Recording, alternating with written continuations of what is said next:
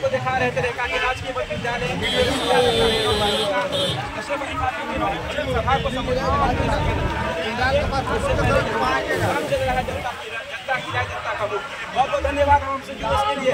जय जय आरजेडी जिंदाबाद। आरजेडी जिंदाबाद। आरजेडी जिंदाबाद। जिंदाबाद जिंदाबाद। एक शब्द में ये पूछना कि आप वोट किसको दीजिएगा दीजिएगा तो क्यों दीजिएगा ये आपको सवाल करना चाहिए।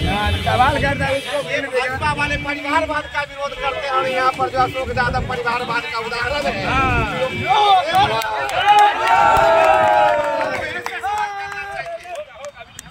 और अली अशरफ फातिमी एक जाना पहचाना शख्सियत है।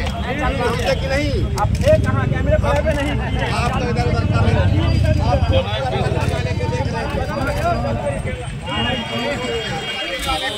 Hãy subscribe cho kênh Ghiền Mì Gõ Để không bỏ lỡ những video hấp dẫn